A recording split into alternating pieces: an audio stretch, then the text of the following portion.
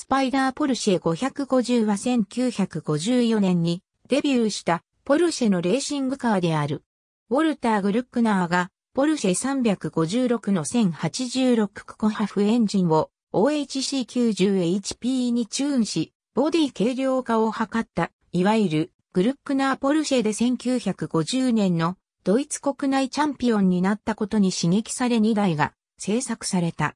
4カムユニットをミッドシップすることを前提に設計されていたが4カムユニットの開発が間に合わず、1500S 用 1498cc フラット4 110パソハフの547型エンジンを搭載し、1953年のルマン24時間レース総合15位、クラス優勝した。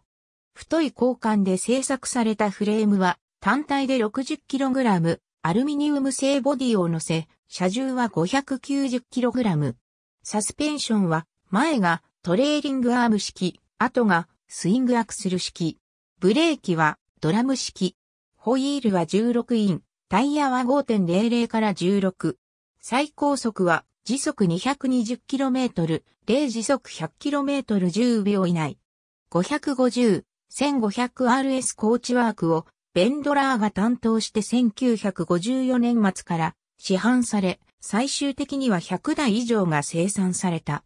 1955年、ボディは軽量なアルミ製で、社名もその乾燥重量 550kg に由来する。シャーシは交換はしごフレーム。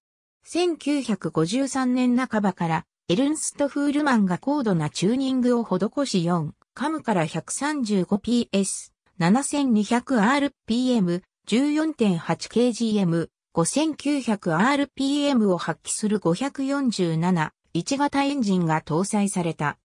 1954年ミレミリアにて6位入賞、クラス優勝。ルマン24時間レースクラス優勝。1955年のルマン24時間レース総合4位、クラス優勝。ブエノスアイレス 1000km クラス優勝。ミッテミリアクラス優勝。550A、1500RS1955 年末にスイングアクスルのままながらもピボット位置を低く変更され、フロントスタビライザーが追加されるなど足回りを改良し、細い交換フレームを使用するスペースフレームに改良されるなどで軽量化されると、共に135馬力エンジンを搭載した。電装が 12V に変更されている。燃料タンクはノーマルの80リットルと耐久レース用の130リットルがあった。外観上では運転席後方に下流防止のカバーが装着されている。生産台数は37台。1956年ニュルブルクリンク 1000km に4位入賞。